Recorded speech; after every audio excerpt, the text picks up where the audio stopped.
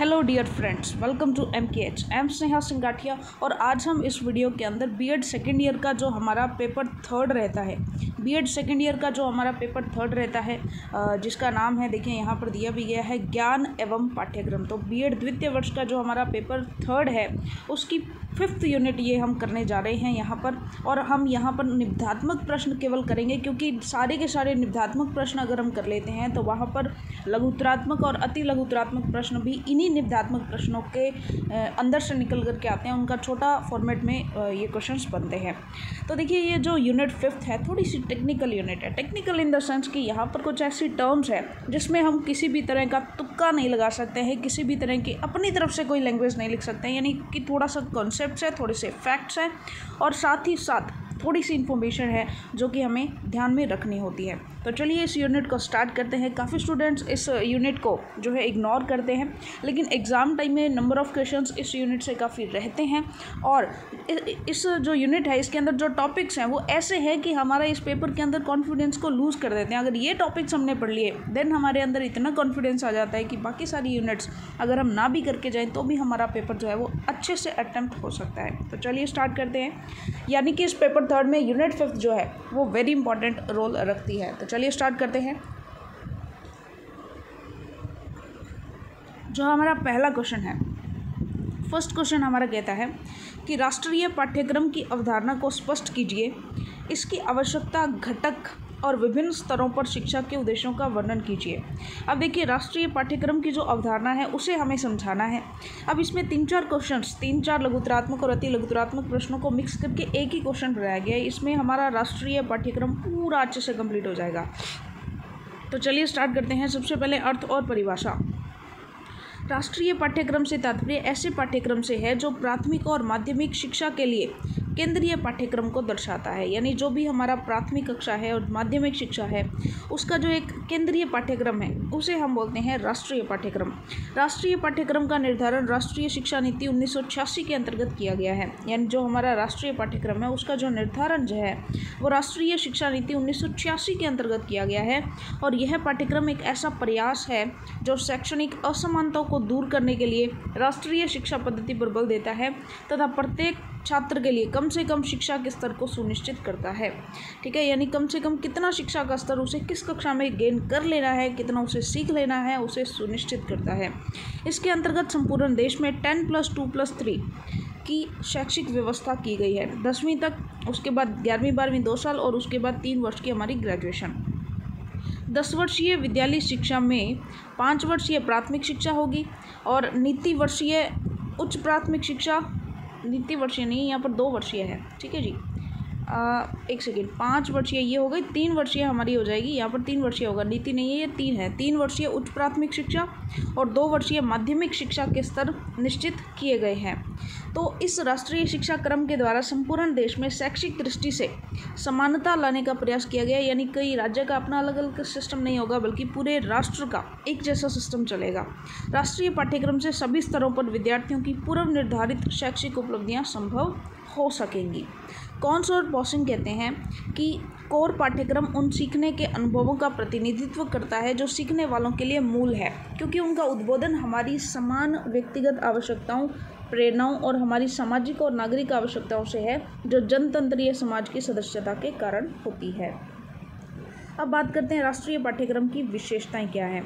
तो देखिए, राष्ट्रीय शैक्षिक अनुसंधान एवं प्रशिक्षण परिषद, यानी कि एन द्वारा राष्ट्रीय पाठ्यक्रम की निम्नांकित विशेषताएँ बताई गई हैं। तो यहाँ पर देखिए, अगर आपसे एन की फुल फॉर्म पूछी जाए तो भी ये फुल फॉर्म आप याद कर सकते हैं। यह पाठ्यक्रम जन सामान्य के जीवन की आवश्यकताओं और आकांक्षाओं से संबंधित है। यानी जन सामान्य की जो आवश्यकताएँ हैं और उनकी जो आकांक्षाएँ हैं, यानी उनकी जो इच्छाएँ हैं, उनसे संबंधित यह हमारा सिलेबस रहता है। यह पाठ्यक्रम स्वीकृत सिद्धांतों और मूल्यों की सीमा में रहकर लोचशील और गत्यात्मक है। लोचशील यानी इसमें कमियाँ निकाल करके उसे सुधारा जा सकता है। ठीक है जी? ऐसा नहीं है कि ये बिल्कुल स्थिर है, बल्कि ये परिवर्तनशील है। इसमें सामाजिक न्याय, प्रजातांत्रिक मूल्य, राष्ट्रीयता, भावात्मक एकता, इस, इन सभी के विकास पर बल दिया गया है। इसमें त्रिभाषा सूत्र को अपनाया गया है, यानी कि जिसके अंदर एक फॉरेन लैंग्वेज हो जाएगी, एक हमारी जो है राष्ट्रीय भाषा, जो है हमारी हिंदी हो जाएगी, एक मातृभाषा हो जाएगी। ठीक है जी? चलिए। सॉरी जो मदर टंग है वो हो जाएगी, बिल्कुल सही मातृभाषा। और नेक्स्ट बात करते हैं फिफ्थ इस पाठ्यक्रम में सौंदर्यानुभूति। इस पाठ्यक्रम में सौंदर्य अनुभूति के विकास हेतु कुछ विषयों को स्थान दिया गया है, ताकि हम प्रकृति के सौंदर्य को, मनुष्य के सौंदर्य को, हर तरह के सौंदर्य की अनुभूति कर सकें। इस पाठ्यक्रम के अंतर्गत प्रत्येक स्तर पर प्रत्येक विषय के शिक्षण उद्देश्यों का उल्लेख किया गया है और इस पाठ्यक्रम में नैतिक शिक्षा को विशेष स्थान दिया गया है। ये तो थी इसकी विशेषता। तो अगर छोटा क्वेश्चन आप देगी इसकी विशेषताएँ बताएँ तो आप ये विशेषताएँ लिख सकते हैं। अब बात करते हैं राष्ट्रीय पाठ्यक्रम की आवश्यकता। तो ये भी एक छोटा क्वेश्चन बन सकता है कि राष्ट्रीय पाठ्यक्रम की क्या आवश्यकता है? तो देखिए, प्रचलित पाठ्यक्रम के संकुचित आधार के कारण राष्ट्रीय पाठ्यक्रम की आवश्यकता यानी अब जो पाठ्यक्रम चल रहा है, यानी पुराने टाइम में जो पाठ्यक्रम चल रहा था, वो संकुचित था। उसका आधार संकुचित था, वो एक लिमिटेड वे में था। लेकिन अब जो है हमें राष्ट्रीय पाठ्यक्रम की आवश्यकता ज़रूरी है।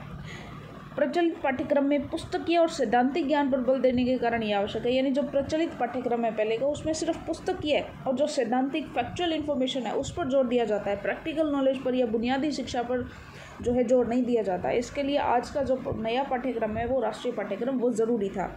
प्रचलित पाठ्यक्रम जीवन से संबंध नहीं है, यानी रियल लाइफ से रिलेटेड नहीं है, इसलिए इसकी ज़रूरत है। और प्रचलित जो पाठ्यक्रम है, वो परीक्षा केंद्रित है, ना कि सुधार हेतु नवीन पाठ्यक्रम हमारे लिए आवश्यक है। प्रचलित पाठ्यक्रम में तकनीकी और व्यावसायिक विषयों की कमी है, इसके कारण हमारे लिए राष्ट्रीय पाठ्यक्रम जो है वो आवश्यक है। अब बात करते हैं राष्ट्रीय पाठ्यक्रम के घटक तो ये भी एक छोटा क्वेश्चन बन सकता है कि राष्ट्रीय पाठ्यक्रम के कौन कौन से घटक हैं? तो देखिए खेल, यानी कि शारीरिक शिक्षा इसका एक घटक है। तकनीकी और सांस्कृतिक खाई को पाटना, यानी एक तरफ़ तो तकनीकी है और एक तरफ़ हमारी संस्कृति है। दोनों के बीच में गहरी खाई है। या तो कोई संस्कृति को अपना सकता है या फिर तकनीकी को अपना सकता है।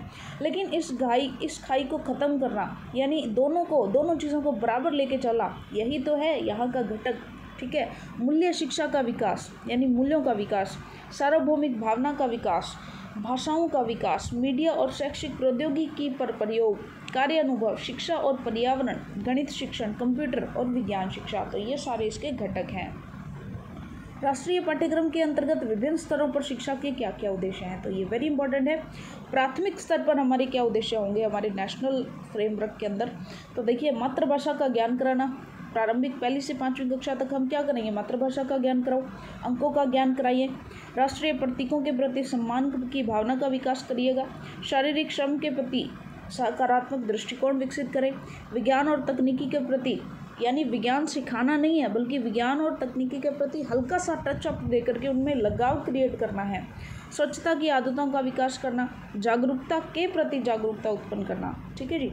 चलिए, आगे बात करते हैं उच्च प्राथमिक स्तर पर। उच्च प्राथमिक स्तर पर कक्षा छः से आठ तक क्या होगा? छात्रों में समायोजन शक्ति का विकास करना, राष्ट्रीय एकता की भावना का विकास करना, छात्रों को विभिन्न सांस्कृतिक विरासतों का ज्ञान कराना, छात्रों को द्वितीय भाषा का ज्ञान कराना, विज्ञान तकनीकी पर्यावरण के प्रति सजग बनाना, संविधान और प्रजातंत्रात्मक जो सिस्टम है उसे, उसका ज्ञान कराना। और अगर हम माध्यमिक स्तर पर देखें तो माध्यमिक स्तर पर क्या होगा? छात्रों के जीवन और कार्य के प्रति समुचित दृष्टिकोण विकसित करना, छात्रों को विभिन्न व्यवसायों की जानकारी देना, तृतीय भाषा का ज्ञान कराना, सृजनात्मकता और लेखन शक्तियों का विकास करना, शारीरिक शिक्षा प्रदान करना और नैतिक शिक्षा प्रदान करना। तो ये था हमारा पहला प्रश्न, अब हम करते हैं अगला प्रश्न। यहाँ पर यह है कि राष्ट्रीय विद्यालय पाठ्य चर्चा की रूपरेखा का उल्लेख कीजिए और इसके सम्मिलित कार्यक्रम का उल्लेख कीजिए। तो राष्ट्रीय विद्यालय पाठ्य चर्चा के बारे में जो भी हमारा प्रश्न बनता है तो देखिए सिंपल सी बात। राष्ट्रीय शिक्षा नीति उन्नीस सौ छियासी मार्ग निर्देशों के अनुसार राष्ट्रीय शैक्षिक अनुसंधान एवं प्रशिक्षण परिषद द्वारा दस वर्षीय सामान्य पाठ्यक्रम का निर्माण किया गया। इसके अंतर्गत इस राष्ट्रीय पाठ्यक्रम को विभिन्न प्रदेशों में लागू कराने के प्रयास किए जा सकते हैं और इस विद्यालय पाठ्यक्रम की रूपरेखा जो है वो निम्नलिखित है। तो देखिए, सिंपल सी बात इसमें क्या होगा? सबसे पहले, पूरा प्राथमिक यानी कि नर्सरी या जो बालवाड़ी होती है, प्राथमिक से भी पहले, इस स्तर पर बालक की समूह प्रवृत्तियाँ, खेल विधि, भाषाई खेल, गणितीय खेल पर्यावरणीय जागरूकता आनंदा आनंदानुभूति से अधिगम अनुभव आदि पर, यानी आनंद के साथ खेलते खेलते अधिगम अनुभव प्राप्त करना, प्रदान करना आदि पर आधारित करके ज्ञान देना। इस स्तर पर किसी भी विषय की औपचारिक शिक्षा की व्यवस्था नहीं होगी। ठीक है जी? दूसरा होगा हमारा प्राथमिक स्तर। प्राथमिक स्तर जो है वो पाँच वर्षीय है। इसमें क्या होगा? इसके अंतर्गत अगर हम समय का आवंटन देखें तो ये कहते हैं, एक भाषा जो उसकी मातृभाषा हो सकती है या प्रादेशिक भाषा हो सकती है टोटल हंड्रेड परसेंट समय का, तीस परसेंट समय आप उसको भाषा सिखाने में लगाएँ। पंद्रह प्रतिशत समय आप उसे गणित सिखाने में लगाएँ।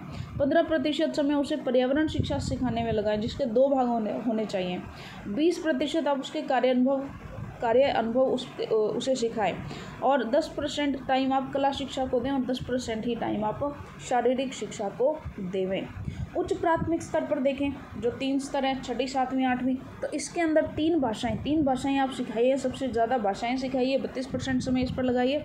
गणित पर बारह परसेंट समय लगाइए, विज्ञान पर बारह परसेंट समय लगाइए, सामाजिक विज्ञान पर बारह परसेंट समय लगाइए, कार्य अनुभव पर बारह परसेंट समय लगाएँ, कला शिक्षा पर दस परसेंट और स्वास्थ्य और शारीरिक शिक्षा पर भी दस परसेंट। सबसे ज़्यादा तीन भाषाओं पर समय लगाना है। और माध्यमिक स्तर अगर हम देखें माध्यमिक स्तर हमारा जो है, इसके अंदर अगर हम देखें तो तीन भाषाएँ, इस पर तीस परसेंट गणित में तेरह परसेंट, विज्ञान में तेरह परसेंट, सामाजिक विज्ञान में तेरह परसेंट, कार्यानुभव में तेरह परसेंट, कला शिक्षा में नौ परसेंट और शारीरिक शिक्षा में भी जो है माफ़ कीजिएगा, ये नब्बे परसेंट नहीं है, यहाँ पर भी नौ परसेंट है, ठीक है जी? तो टोटल हमें इस तरह का समय लगाना है ताकि ताकि जो है हम माध्यमिक स्तर जो है हमारा नौवीं और दसवीं, ठीक है, इसमें इस तरह का हमें समय डिवाइडेशन करके लगाना चाहिए। राष्ट्रीय पाठ्यक्रम के अंतर्गत सम्मिलित कार्यक्रम कौन कौन से हैं? तो देखिए, सबसे पहले अधिगम के न्यूनतम स्तर के प्रतिमान स्थापित करना, यानी कि कितना अधिगम किस एज के अंदर मिल जाना चाहिए, ये न्यूनतम स्तर का प्रतिमान स्थापित करना इसके अंतर्गत शामिल है। अध्यापक और अध्ययन में सुधार के लिए विद्यालयों में चल रही प्रक्रिया के रूप में मूल्यांकन शुरू करना और परीक्षा में सुधार करना। जनजातीय लोगों और शैक्षिक रूप से पिछड़े अल्पसंख्यक वर्गों की समृद्ध सांस्कृतिक विशिष्टता विशिष्टता को दृष्टिगत रखते हुए संस्कृति विशेष के पाठ्यक्रम और सामग्री का विकास करना, ताकि उनकी संस्कृति में भी जो है उनकी पहचान बनी रहे। शैक्षणिक प्रशासन का विकेंद्रीकरण करना, यानी सभी को एक साथ जोड़ करके रख देना, ताकि सब मिलजुल कर काम करें। माफ़ कीजिएगा, केंद्रीकरण नहीं करना, यहाँ पर विकेंद्रीकरण करना है, यानी कि उनको मुक्त करना है ताकि वो अपने लेवल पर डिसीज़न लेकर के और काम कर सकें। ठीक है जी?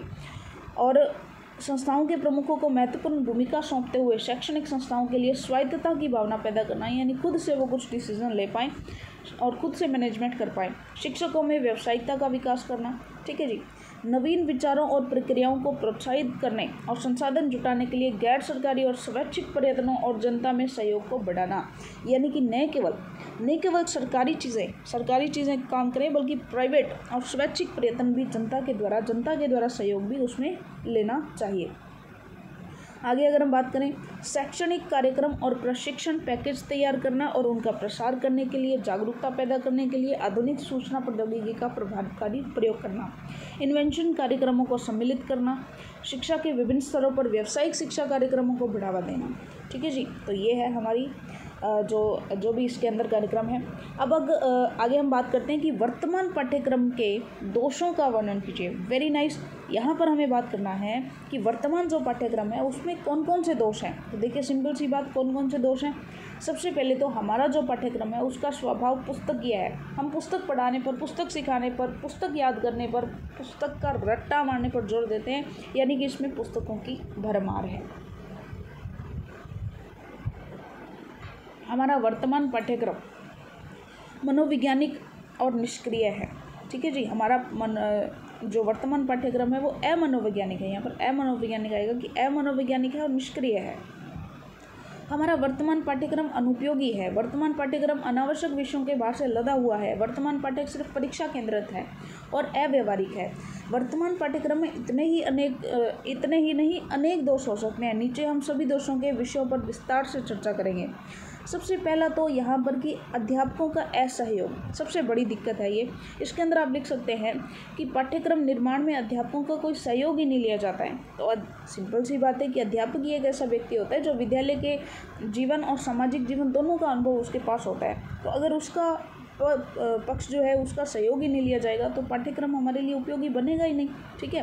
पुस्तकीय स्वभाव की बात करें तो सिंपल सी बात है, पाठ्यक्रम और सिलेबस में कोई अंतर नहीं समझा जाता यहाँ पर। सिंपल सी बात है, पाठ्यक्रम तो होता है जिसके अंदर हम संपूर्ण बुनियादी शिक्षा भी हो नए पाठ्यक्रम का जो प्रत्येक पक्ष हमने ऊपर पड़े, वो सारे पक्ष इसके अंदर होने चाहिए। लेकिन आज हम सिर्फ़ उसके सिलेबस पर ध्यान देते हैं, उसको रट्टा लगाते हैं, ऐसा नहीं होना चाहिए। और जो आज का जो पाठ्यक्रम है वो सैद्धांतिक है और अव्यवहारिक है। हम सिर्फ़ पुस्तकों को रटवाते हैं, ठीक है जी? लेकिन एक्चुअल के जो अनुभव है वो हम प्रदान नहीं करते हैं। इसका जो आधार है वो संकुचित आधार है। कैसा आधार है जी? संकुचित आधार है, ठीक है? एक विकासशील राष्ट्र का पाठ्यक्रम जिस स्वस्थ राष्ट्रीय संस्कृति पर आधारित होना चाहिए, वैसा हमारा पाठ्यक्रम नहीं है। ठीक है? जब कोई टेढ़ा मेढ़ा, ऊँचा नीचा, क्षीण मार्ग, अंधकार में जाकर विलीन हो जाए, वैसा हमारा जो है जो हमारी रूपरेखा है, वो मालूम आज पड़ती है। यानी जैसा भी है, बस सिलेबस पढ़ो, रटवाओ, कक्षाएँ करो ग्रेजुएशन करो, उसके बाद सीधा उनको जो है अपनी लाइफ में धकेल दिया जाता है। जीवन के साथ संबंध नहीं है, बिल्कुल सही। आज के जो पाठ्यक्रम है, उनका जीवन के साथ, जो इन फ्यूचर उनके सामने प्रॉब्लम्स आने वाले हैं, उनके सॉल्यूशन में वो किसी भी तरह का जो है रोल नहीं निभाता है। तो जीवन के साथ संबंधित आज आज का जो पाठ्यक्रम है, वो नहीं है। व्यक्तिगत भिन्नता की उपेक्षा, यानी एक दार्शनिक, एक वैज्ञानिक ने जो जो चीज़ें, जो सिद्धांत, जो मूल्य डिसाइड कर दिए, आज बच्चे सिर्फ़ वहीं पढ़ते जा रहे हैं। व्यक्तिगत भिन्नता, क्योंकि प्रत्येक विचार पर एक, प्रत्येक टॉपिक पर हर व्यक्ति के अलग अलग विचार अलग अलग समझ अलग अलग भावनाएँ होती हैं। और आज जो है व्यक्तिगत विभिन्नता की उपेक्षा भी जो हमारे पाठ्यक्रम में हो रही है। काफ़ी बच्चे उसको पढ़ते हैं, याद करते हैं, सब कुछ करते हैं, लेकिन वो उसका विरोध नहीं कर पाते हैं, क्योंकि उनके उनके दिमाग में उनका वो जो पक्ष होता है, वो पुस्तक से हटकर होता है। सह संबंध का अभाव। देखिए, जितने भी सब्जेक्ट्स हैं, वो अलग अलग पढ़ रहे हैं हम, लेकिन हर एक सब्जेक्ट हर दूसरे विषय से जुड़ा हुआ है। तो जो सह संबंध है सभी विषयों का, उसका आज हमारे पाठ्यक्रम में अभाव है। यानी कि जैसे देखिए, साइंस लेने वाला बच्चा साइंस ही लेता है आर्ट्स लेने वाला बच्चा आर्ट्स ही लेता है बल्कि आर्ट्स के सभी विषय, साइंस के सभी विषयों से कहीं ना कहीं जुड़े हुए हैं। जो लैंग्वेज ले रहा है, लिटरेचर ले रहा है, वो भी कहीं ना कहीं हर विषय से जुड़ा हुआ है। लेकिन आज जो साइंस में जाएगा, वो लिटरेचर नहीं ले सकता, जो लिटरेचर में जा रहा है, वो साइंस या कॉमर्स नहीं ले सकता है। तो इस तरह से सह संबंधता का अभाव है। अनुपयोगी, सिंपल सी बात है कि जब हम किसी छात्र को चारपाई लेटते हुए, चारपाई पर लेटे हुए यह रटते हुए पाते हैं कि गेहूँ गेहूँ गेहूँ, यह जो है क्वार क्वार क्वार में बोया जाता है तो हमें भारत की भविष्य पर तरस आ जाता है। गेहूँ क्वार में बोया जाता है, इसकी जानकारी तो खेत में गेहूँ बोते हुए समय हो जानी चाहिए, न कि चारपाई पर पुस्तक रटते हुए, ठीक है? तो सिंपल सी बात है कि अनुपयोगी जो है हमारा ज्ञान होता जा रहा है। विश्वविद्यालयों का दबाव देखिए, हमारी जो माध्यमिक विद्यालयों का पाठ्यक्रम एक तरह में, एक तरह से अपना कोई स्वतंत्र अस्तित्व नहीं रखता है।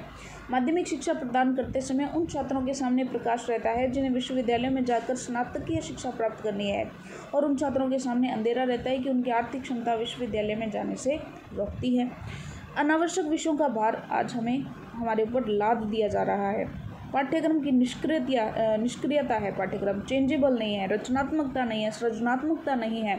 पाठ्यक्रम का परीक्षा केंद्रित होना, सिर्फ़ परीक्षा को ध्यान में रख करके पाठ्यक्रम बनाया जा रहा है, उसको पढ़ाया जा रहा है, उसकी तैयारी करवाई जा रही है, न कि ज्ञान प्राप्त करने की दृष्टि से। अगला प्रश्न है, पाठ्यक्रम में सुधार की नवीन समस्याओं की विवेचना कीजिए। भारतीय शिक्षा आयोगों के पाठ्यक्रम सुधार की व्याख्याएँ कीजिए। यानी कि पाठ्य, भारत में पाठ्यक्रम सुधार की जो प्रक्रिया है, उसका उसके बारे में हमें बताना है, उसके ऊपर हमें टिप्पणी लिखनी है। तो चलिए बात करते हैं। हमें अपने देश के पाठ्यक्रम के सुधार के लिए संकल्प लेना है। हमारे देश में शिक्षा की उपेक्षा का एकमात्र कारण यह यहाँ के जो पाठ्यक्रम है, उसकी सैद्धांतिकता और साधनहीनता ही है। विद्यालय में शिक्षा ग्रहण करने वाले सभी विद्यार्थी अपने सामने दो ही लक्ष्य रखते हैं, परीक्षा उत्तीर्ण करना और नौकरी करना। जब तक पढ़े लिखे लोगों की कमी थी, तब तक लोग नौकरियों में कपते चले जाते थे? और जब शिक्षितों की संख्या अधिक हो गई है, इसलिए बेकारी का बढ़ना स्वाभाविक है। नौकरी न पाने वाले शिक्षित व्यक्ति अपने को कर्महीन, अभागा और व्यर्थ समझने लगता है। कितने लोग नौकरी से निराश हो जाने पर समाज विरोधी तकनीकों से धन कमाने पर उतारू हो जाते हैं? आजकल का पाठ्यक्रम और साथ ही ब्रिटिश शासन द्वारा जोड़ा गया संस्कार, इन दोनों का ऐसा प्रभाव पड़ा है कि शिक्षितों के सामने सिवाय नौकरी के और कुछ दिखाई ही नहीं पड़ता। किसी भी नव स्वतंत्र राष्ट्र के सामने समस्याएँ बढ़ जाती हैं। भारत भी एक स्वतंत्र राष्ट्र है, उसके सामने भी समस्याओं का बढ़ जाना स्वाभाविक है। समस्याओं का बढ़ना प्रगतिशीलता का द्योतक है, पर प्रगतिशीलता आती है। उन समस्याओं के समाधान से। किसी भी देश के समस्याओं का समाधान वहाँ के नागरिकों की कार्यक्षमता और कार्यकुशलता पर निर्भर करता है और कार्यकुशल नागरिकों का निर्माण शिक्षा के द्वारा होता है। कार्यकुशल नागरिकों का निर्माण करने के लिए सबसे पहले हमें अपने पाठ्यक्रम में सुधार लाना होगा। बेसिक सी बात है कि हमारी शिक्षा अब भी लॉर्ड मैकाले द्वारा शिक्षा निर्देशित मार्ग पर ही चल रही है। हालाँकि हमें स्वतंत्र हुए सिक्सटी नाइन ईयर्स से ऊपर हो चुके हैं। इसके कुछ रीजंस है। पहली बात तो विद्या, विद्यार्थियों की गरीबी। देखिए, हमारे यहाँ शिक्षा प्राप्त करने वाले विद्यार्थियों की दशा भी अनेक देशों, अन्य देशों की अपेक्षा ठीक नहीं है। वे महँगे पाठ्यक्रम जैसे, जिनके लिए जो उपकरणों को खरीदना है, शिक्षण शुल्क देना है तो वो ले नहीं पाते हैं। शिक्षण विधि में दोष, हमारी शिक्षण विधि में दोष है। देश की निर्धनता देखिए, बच्चे भी निर्धन हैं और हमारा देश भी इतना निर्धन है कि वो भोजन, वस्त्र आदि देने की जो अरेंजमेंट्स है, वो भी पूरी तरीके से नहीं कर पाता तो वो शिक्षा का स्तर कैसे ऊँचा उठाएगा? पुरानी परीक्षा प्रणाली परीक्षा प्रणाली हमारी पुरानी है। विद्यालयों की साधनहीनता, विद्यालयों में साधन ही नहीं है। पुराने संस्कार आदर्शवादी पुराने अध्यापक छात्रों में, छात्रों को अधिक से अधिक नियंत्रण रखना चाहते हैं। वो उन्हें कठोर दंड देने का प्रावधान, जो है, हमारे शिक्षा प्रणाली में है। तो इस तरह से जो पुराने संस्कार है, वो आज भी शिक्षा में, जो है सुधार होने नहीं दे रहे हैं। तो पाठ्यक्रम में सुधार की अगर हम बात करें तो पाठ्यक्रम में सुधार के लिए कुछ प्रमुख आयोगों ने अपनी अपनी अनुशंसाएँ दी हैं अपने अपने सुझाव दिए हैं। तो सबसे पहले, माध्यमिक शिक्षा आयोग, जिसकी स्थापना उन्नीस सौ तिरपन में हुई, इसके कुछ सुझाव हैं। तो देखिएगा, इन्हें इन्होंने क्या सुझाव दिए गए हैं? सबसे पहला सुझाव है, बालकों के सर्वांगीण विकास के लिए पाठ्यक्रम में पर्याप्त क्रियाओं को स्थान दिया जाए। यानी कि सर्वांगीण विकास करना है, इसलिए अलग अलग बहुत सारी क्रियाएँ जो हैं पाठ्यक्रम के अंतर्गत बच्चों को करवानी चाहिए। पाठ्यक्रम नमनीय और परिवर्तनशील होना चाहिए, जिसमें उसमें आवश्यकता अनुसार बदलाव लाए जा सके। पाठ्यक्रम का सामाजिक जीवन से संबंध होना चाहिए। बालक की जन्मजात शक्तियों को विकसित करने वाला यह होना चाहिए। अवकाश काल में सदुपयोग का गुण होना चाहिए। एक दूसरे से विषयों का एक दूसरे से पूर्णतः संबंध होना चाहिए। पाठ्यक्रम बालक केंद्रित होना चाहिए और इसमें जीविकोपार्जन का गुण होना चाहिए। यानी एक बार जिसने पढ़ लिया, वो कम से कम इन फ्यूचर अपनी पूरी लाइफ के अंदर कभी भूखा नहीं मरेगा। ऐसा भी उसके अंदर प्रावधान होना चाहिए। आचार्य नरेंद्र देव समिति उन्नीस में इनके सुझाव क्या है? उत्तर प्रदेश सरकार ने अपनी माध्यमिक शिक्षा को समुन्नत बनाने के लिए आचार्य नरेंद्र देव समिति का गठन किया और इस समिति ने पाठ्यक्रम में सुधार हेतु निम्नलिखित संस्तुतियाँ पेश पेश जो है की। इन्होंने बताया कि पाठ्यक्रम व्यापक होना चाहिए, बालकों का बहुमुखी विकास सुनिश्चित करें और बालक बालिकाओं की पाठ्यक्रम पृथक पृथक होना चाहिए। देखिए, यहाँ पर क्या बोल रहा है ये? आचार्य नरेंद्र देव समिति का है ये। कि पृथक पृथक होना चाहिए बालकों और बालिकाओं का। पाठ्यक्रम में नैतिक और मानवीय मूल्यों को स्थानांतरण स्थानांतरण किया जाना चाहिए, यानी नैतिक और मानवीय मूल्यों को भी सिलेबस में डालना चाहिए। जनपद पर मनोवैज्ञानिक केंद्र स्थापित होने चाहिए, जो विद्यार्थियों को उनकी रुचि और उनके अनुकूल विषय चयन में सहायता प्रदान करें। पाठ्यक्रम में हिंदी और संस्कृत का अध्ययन अनिवार्य बनाया जाए।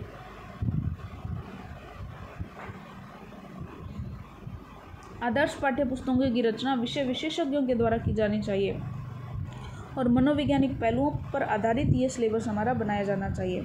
कोठारी आयोग के जो सुझाव हैं, कोठारी आयोग ने सुझाव दिए हैं उन्नीस ईस्वी में, जो है पाठ्यक्रम विकसित करने हेतु पाठ्य चर्चा पर शोध को प्रोत्साहन दिया जाना चाहिए। पहले प्रॉपर रिसर्च होनी चाहिए। पाठ्यक्रम के सफल संचालन हेतु शिक्षकों के लिए निर्देशन पुस्तिका बनाई जानी चाहिए। पाठ्यक्रम सामान्यतः तथा दो स्तरीय होना चाहिए। विषय अध्यापक संघों का निर्माण किया जाए, जो पाठ्यक्रम रचना और सुधार संबंधी कार्यों को अंजाम दे। कोठारी आयोग ने विभिन्न शैक्षिक स्तरों पर पाठ्यक्रम की रूपरेखा के संबंध में निम्नलिखित मत व्यक्त किए हैं। एक तो लोअर प्राइमरी स्तर होना चाहिए, जिसमें एक से चार तक पाठ्यक्रम में भाषाएँ, गणित और सृजनात्मक क्रिया रखी जाए। हायर प्राइमरी स्तर में पाँच से कक्षा, पाँच से सात, इसमें दो भाषाएँ, गणित, विज्ञान, सामाजिक अध्ययन, कार्यानुभव, समाज शिक्षा, शारीरिक शिक्षा, नैतिक और आध्यात्मिक मूल्यों को रखा चाहिए। लोअर सेकेंडरी स्तर, इसमें आठवीं से दसवीं, इसके अंदर तीन भाषाएँ हो जाए। गणित, विज्ञान, इतिहास, भूगोल, नागरिक शास्त्र, कला, कार्यानुभव, समाज सेवा, शारीरिक शिक्षा, नैतिक, धार्मिक, आध्यात्मिक मूल्यों से युक्त पाठ्यक्रम बनाए जाए। हायर सेकेंडरी स्तर पर। इस पर दो भाषाएँ, जिनमें से एक कोई वर्तमान भारतीय भाषा, एक कोई विदेशी भाषा हो, को पाठ्य में पाठ्यक्रम में रखना और निम्नलिखित विषय में से किन्हीं तीन विषयों का चयन करना। एक अतिरिक्त भाषा, इतिहास, भूगोल, अर्थशास्त्र, तर्कशास्त्र, मनोविज्ञान, समाजशास्त्र, कला भौतिक शास्त्र रसायन शास्त्र गणित, जीव विज्ञान, भूगर्भ शास्त्र और ग्रह विज्ञान। तो इनमें से कोई तीन विषय वो चूज़ कर लें और बाकी दो भाषाएँ रहनी ही रहनी चाहिए। ठीक है जी? तो भारतीय शिक्षा आयोग के सुझावों का क्रियान्वयन की अगर हम बात करें कैसे क्रियान्वयन किया गया? तो इसके आधार पर, इसके क्रियान्वयन हेतु उन्नीस में राष्ट्रीय शिक्षा नीति की घोषणा की गई। और इस नीति, शिक्षा नीति के प्रस्ताव में कहा गया कि शिक्षा व्यवस्था के द्वारा ऐसे सदचरित्र एवं सुयोग्य युवक और युवतियों का निर्माण होना चाहिए जो राष्ट्रीय सेवा और विकास के प्रति समर्पित हों। शिक्षा नीति के पाँच लक्ष्यों को निर्धारित किया गया।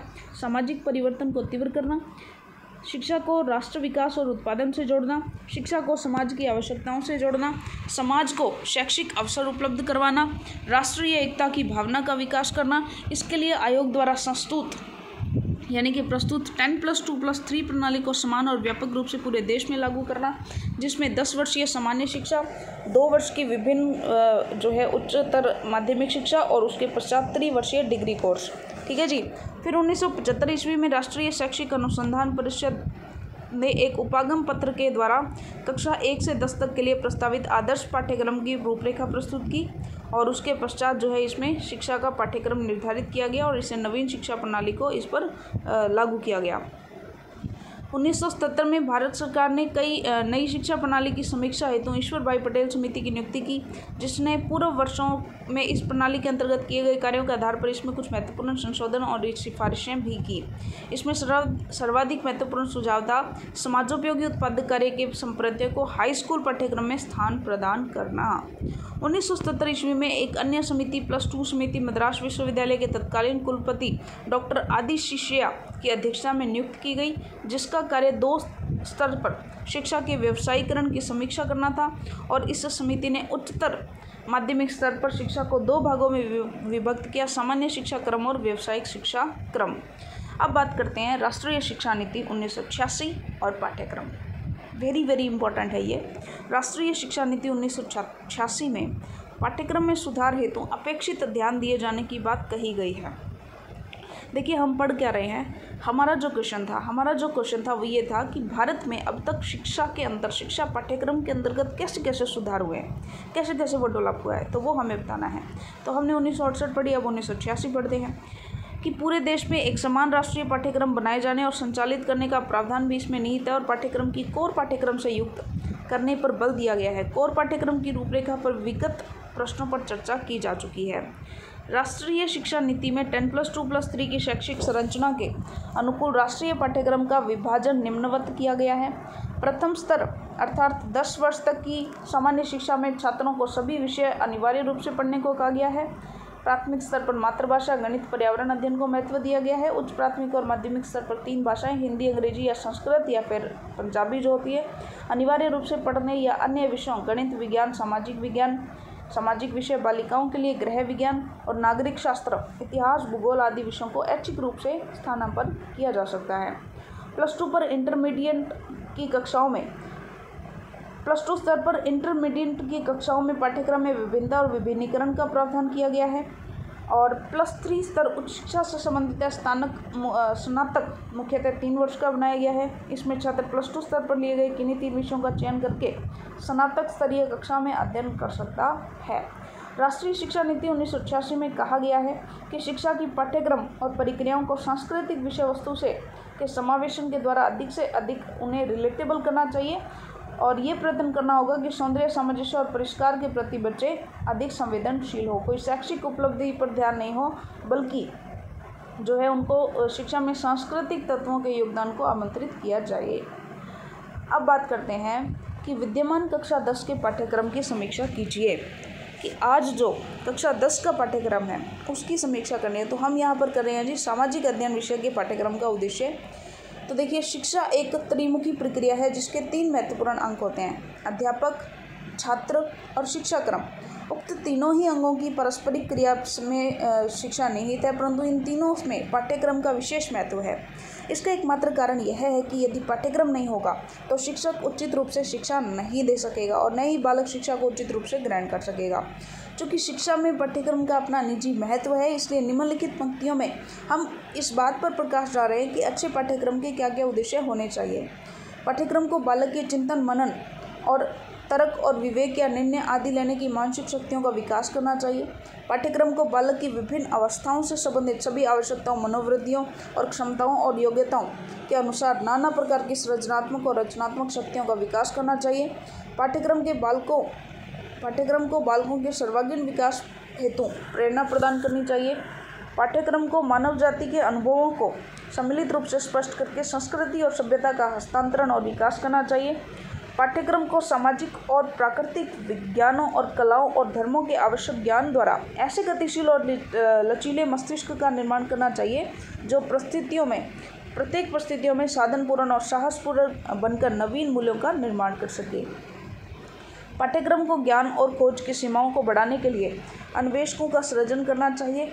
पाठ्यक्रम को विषयों के बीच खाई को पाटकर बालक के साथ ऐसी क्रियाओं को प्रस्तुत करना चाहिए, जो उसके वर्तमान और भावी जीवन के लिए उपयोगी हो। अगर हम सामान्य विज्ञान के पाठ्यक्रम की समीक्षा करें तो सिंपल सी बात है, एक माध्यमिक स्तर के पाठ्यक्रम के अंदर निम्नलिखित गुण होने चाहिए। सबसे पहले तो मनोवैज्ञानिकता।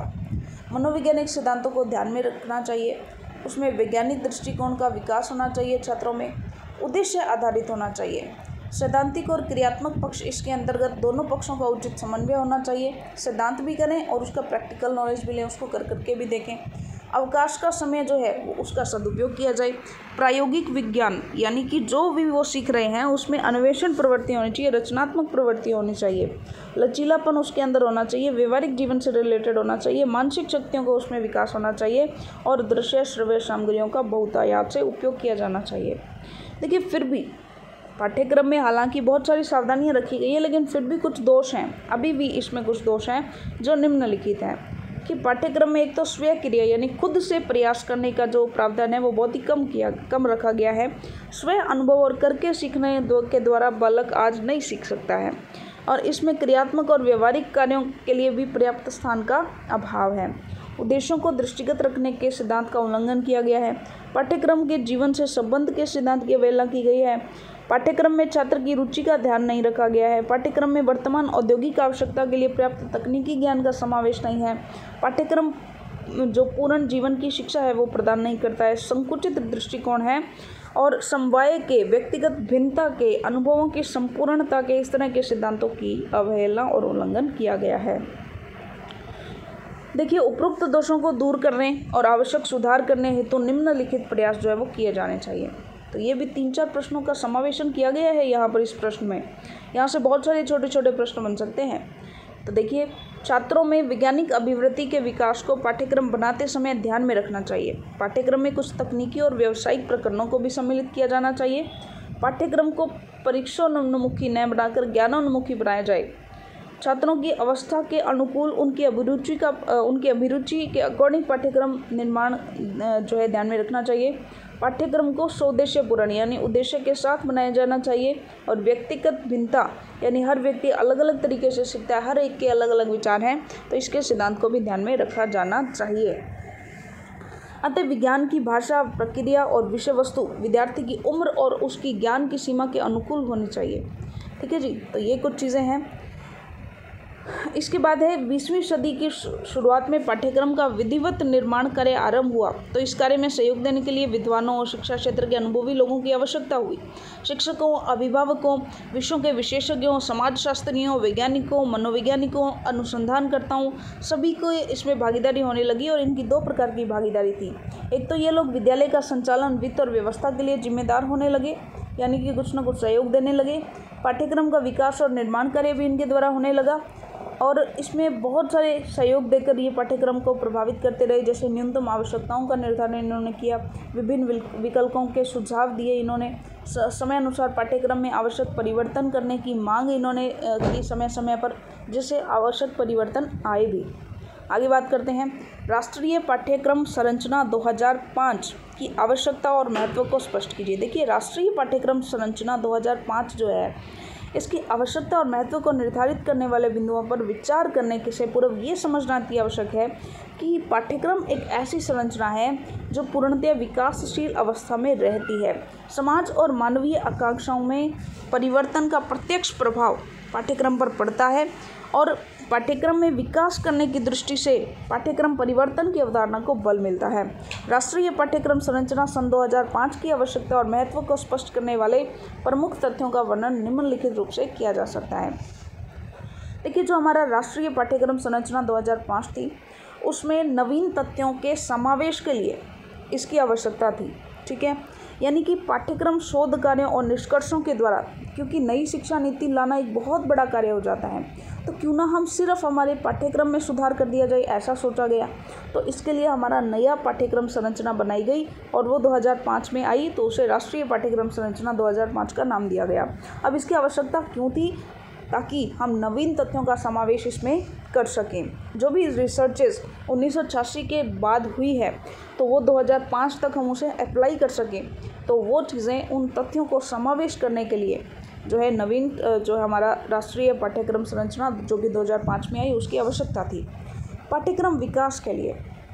सिंपल सी बात है कि पाठ्यक्रम विकास की दृष्टि से राष्ट्रीय कार्यक्रम सन 2005 की संरचना को आवश्यक समझा गया, क्योंकि इसे पाँच वर्ष पूर्व राष्ट्रीय कार्यक्रम 2000 की संरचना की गई थी।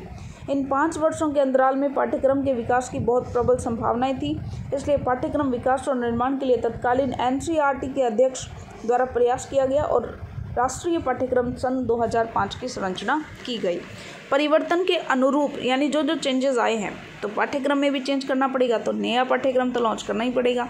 चलिए, आगे है मानवीय मूल्यों के विकास के लिए। देखिए, आज के समय में मानवीय मूल्यों के विचार और विकास के लिए शैक्षिक पाठ्यक्रम ही एक प्रमुख उपयोगी साधन है। मूल्यों के गिरते हुए स्तर और स्वार्थपूर्ण भावना के विकास के लिए आवश्यक हो गया था कि सभी मूल्यों को जोड़ करके नया पाठ्यक्रम बनाया जाए। भाषाई समस्या के समाधान के लिए। देखिए, भारतीय शिक्षा में भाषा के स्वरूप की समस्या का जो है वो प्राचीन काल से ही रही है। इसके समाधान के लिए विभिन्न आयोगों, समितियों ने अपने अपने विचार प्रस्तुत किए। उन्नीस सौ में त्रिभाषा सूत्र प्रमुख था और भाषाई समस्या के समाधान के लिए एक नवीन जो है पाठ्यक्रम संरचना जो है उसकी आवश्यकता अनुभव की गई। कक्षा कक्ष शिक्षण के लिए। कक्षा कक्ष शिक्षण में पाठ्यक्रम का महत्वपूर्ण स्थान होता है। पाठ्यक्रम के प्रभाव का मूल्यांकन कक्षा कक्ष शिक्षण के समय ही होता है। तो इसके लिए पाठ्यक्रम छात्रों के लिए उनके अनुसार, मानसिक स्तर के अनुसार होगा तो वह प्रभावी और सफल माना जाएगा। इसके विपरीत विपरीत स्थिति में पाठ्यक्रम में सुधार और परिवर्तन की आवश्यकता भी अनुभव की जाती है। तो कक्षा कक्ष शिक्षण को प्रभावपूर्ण बनाने के लिए राष्ट्रीय कार्यक्रम सन 2005 को प्रस्तुत किया गया। आगे बात करते हैं छात्र की संतुष्टि के लिए। तो छात्र की आवश्यकता और रुचि को ध्यान में रखते हुए पाठ्यक्रम की रचना की जानी चाहिए। छात्र की रुचियाँ और आवश्यकता भी समय और परिस्थिति के अनुसार चेंज होती है। शिक्षकों की संतुष्टि के लिए तो यह आवश्यकता अनुभव की जाती है कि पाठ्यक्रम निर्माण में उनका भी सहयोग लेना चाहिए। उनके सामने जो समस्याएँ आती हैं, जो भी उनके सुझाव होते हैं उन समस्याओं को सुलझाने के लिए तो इस तरह से पाठ्यक्रम का उनको, उन सभी तथ्यों को ध्यान में रखकर पाठ्यक्रम का निर्माण किया जाना चाहिए, इसकी आवश्यकता अनुभव की गई। अभिभावकों की संतुष्टि के लिए, शोध परिणामों के प्रयोग के लिए, यानी जो भी शोध के बाद परिणाम आए, उनको अप्लाई करने के लिए, जो है 2005 नया जो पाठ्यक्रम तय किया गया, शिक्षण विधियों के विकास के लिए। शिक्षा के उद्देश्यों की प्राप्ति के लिए, यानी कुछ उद्देश्य थे जो 2000 वाली शिक्षा, जो हमारा जो पाठ्यक्रम था, उसे प्राप्त नहीं हो रहे थे तो हमें नए पाठ्यक्रम की आवश्यकता अनुभव हुई। आगे बात करते हैं अगला प्रश्न।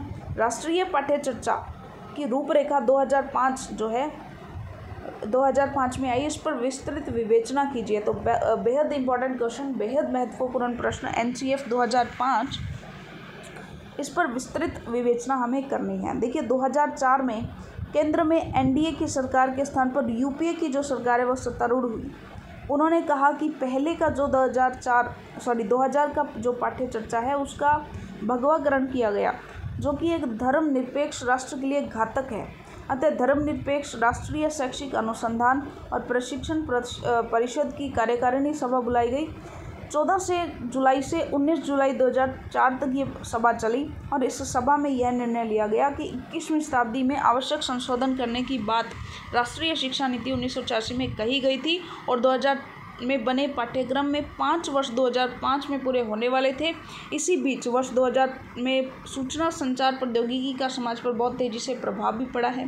कंप्यूटर की आधुनिक दुनिया तैयार होने लगी तो इसके कारण भी पाठ्य चर्चा में संशोधन अपेक्षित था। अतः राष्ट्रीय रूप पाठ्य चर्चा की रूपरेखा 2005 में तैयार की गई और इसे राष्ट्रीय पाठ्य चर्चा की रूपरेखा 2005 नेशनल करिकुलर फ्रेमवर्क 2005 के शीर्षक से दिसंबर 2005 में प्रकाशित किया गया और इस फ्रेमवर्क में कक्षा एक से कक्षा बारह तक कब, क्या, क्यों और कैसे पढ़ना सिखाना इसकी पूरी रूपरेखा प्रस्तुत की गई। तो इसके बारे में जानते हैं। कक्षा एक से पाँच तक इसके अंदर क्या प्रावधान किया गया? मातृभाषा यानी जो उनकी क्षेत्रीय भाषा है, दूसरा अंग्रेज़ी, तीसरा गणित, एक एकीकृत पर्यावरण, अध्ययन कला और शिल्प, स्वास्थ्य, शिक्षा और कार्यानुभव। छः से आठवीं तक मातृभाषा भी होगी, आधुनिक भारतीय भाषा भी होगी, अंग्रेज़ी होगी, विज्ञान, गणित, कला, शिक्षा, सामाजिक अध्ययन, जिसके अंदर इतिहास, भूगोल, राजनीति, विज्ञान और अर्थशास्त्र होगा, स्वास्थ्य और शारीरिक शिक्षा और कार्यानुभव होगा। कक्षा नौ से दस की बात करें तो मातृभाषा, अंग्रेज़ी संस्कृत, उर्दू, अन्य गणित, विज्ञान, सामाजिक अध्ययन के सभी विषय कंप्यूटर कार्य शिक्षा शांति शिक्षा और कला शिक्षा।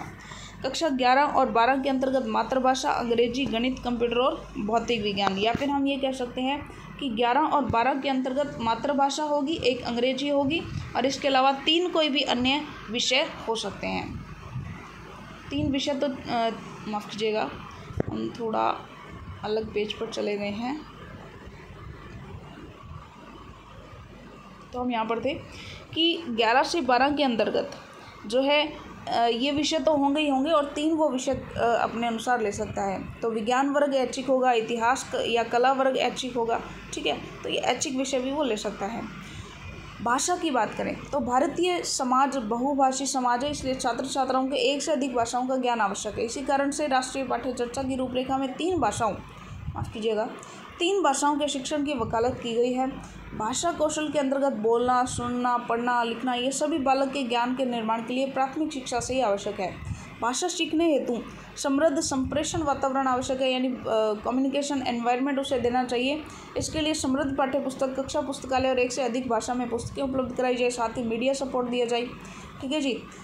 और यह भी आवश्यक है कि भाषा शिक्षक की भाषा में आधारभूत दक्षता भी होनी चाहिए। जो भाषा शिक्षक है, उसके अंदर वो अपनी लैंग्वेज में निपुण तो होना चाहिए, तभी तो वो बच्चों को लैंग्वेज सिखा पाएगा। गणित की बात करें तो छात्र छात्राओं में उपयोगी गणितीय क्षमताओं के विकास और तार्किक ढंग से सोचने की क्षमता विकसित करने, अमूर्त चिंतन विकसित करने और समस्याओं को हल करने के लिए विकास के लिए गणित शिक्षा आवश्यक है। कक्षा दस तक तो अनिवार्य विषय के रूप में पढ़ाया जाए और गणित शिक्षण हेतु कल्पना को, अमूर्त चिंतन को, विभिन्न साधनों के दृश्य करके पढ़ाना चाहिए। गणना आकार स्वरूप जैसे तथ्यों को मॉडल की सहायता से समझाना चाहिए। विज्ञान की बात करें तो विज्ञान शिक्षा के द्वारा छात्र छात्राओं को समाज की वास्तविकता से परिचित कराना अत्यंत आवश्यक है। अतः सामाजिक अध्ययन का ज्ञान देना ज़रूरी है। इसके द्वारा इसके ज्ञान द्वारा समाज, संस्कृति और विश्लेषणात्मक कौशल का भी विकास करें। आधुनिक समय में कंप्यूटर की बात करें तो कंप्यूटर की समाज में भूमिका और महत्व को देखते हुए इसका अध्ययन छात्र छात्राओं के लिए अत्यंत आवश्यक है। कार्य शिक्षा होनी चाहिए, सिंपल सी बात है, शांति शिक्षा होनी चाहिए, कला शिक्षा होनी चाहिए, स्वास्थ्य और शारीरिक शिक्षा बेहद इंपॉर्टेंट है। देखिए, इस पाठ्य चर्चा में कक्षा एक से ही मातृभाषा के साथ अंग्रेज़ी शिक्षा की वकालत की गई है। इसके लिए पाठ्य चर्चा निर्माताओं के बहुत सारे तर्क हैं। कि अंग्रेज़ी भारत के प्रबुद्ध और संपन्न वर्ग की भाषा के रूप में प्रतिष्ठित हो चुकी है। भारत में इसका प्रयोग सरकार, उद्योग और व्यापार सभी क्षेत्रों में होता है और इसे सीखे बिना लोग प्रबुद्ध, संपन्न और उच्च संस्कृति के लोग नहीं बन सकते हैं और अपने कार्य क्षेत्रों की सफलता की ऊंचाइयों को हासिल नहीं कर सकते हैं। तो इस संबंध में हमारा केवल इतना निवेदन है कि हमारे देश में मातृभाषा के प्रयोग की तो सभी को आवश्यकता है, परंतु अंग्रेज़ी के प्रयोग की आवश्यकता आज भी केवल बीस प्रतिशत लोगों को ही होती है।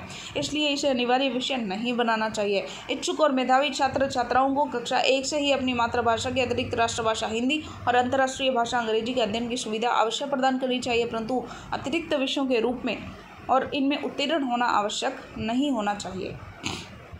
इसमें मेधावी छात्रों को इन भाषाओं को सीखकर आगे बढ़ने का मौका मिलेगा और सामान्य छात्र दो अतिरिक्त भाषाओं के अध्ययन के बोझ से बचेंगे। तो चलिए, ये थी हमारी पाँचवीं यूनिट जो हमने पूरी कर ली है। आपके एग्ज़ाम के लिए all the very best thank you